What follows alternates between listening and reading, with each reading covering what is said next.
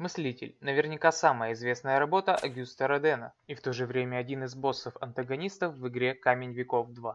Моделью для скульптуры послужил французский боксер Жан Бо, выступавший в Париже в квартале Красных Фонарей. Почему же именно эта скульптура стала одним из главных боссов игры? Во-первых, игра «Камень веков 2» — это клубок из различных эпох, стран и континентов, и разработчики были просто обязаны включить что-то связанное со знаменитой Францией и Парижем. Во-вторых, игра представлена в своеобразном юмористическом стиле, и главным врагом был просто обязан стать кто-то знаменитый, чью историю можно было бы обыграть в присущей игре манере.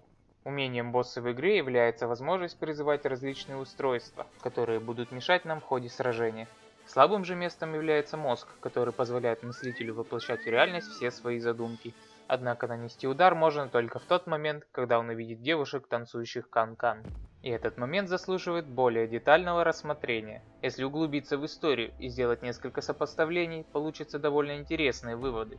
Во-первых, битва с боссом происходит в Париже. Во-вторых, как упоминалось ранее, моделью для скульптуры мыслитель был боксер Жан Бо, в основном выступавший в квартале Красных Фонарей, в том месте, где процветала проституция и другие виды секс-индустрии. И можно предположить, что боксеру приходилось довольно часто глазеть на девушек легкого поведения. Видимо, разработчики игры хорошо знакомы с историей и решили обыграть это с юмористической ноткой. И раз статуя сделана с боксера Жана Бо, она и унаследовала часть его характера.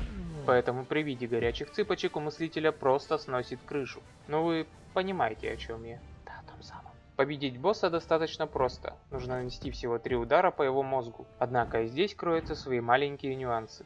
Сцены, на которых пляшут девушки, находятся только с двух сторон, и нужно тщательно наблюдать за траекторией движения мыслителя. И хотя звучит все это довольно легко, по факту придется следить сразу за несколькими вещами. Во-первых, нужно вовремя уничтожать появляющиеся орудия. Если их будет слишком много, они просто раскрошат ваш камень. Во-вторых, нужно стараться всегда находиться на верхних ярусах и недалеко от головы мыслителя. Только так вы сможете подобрать время и нанести точный удар.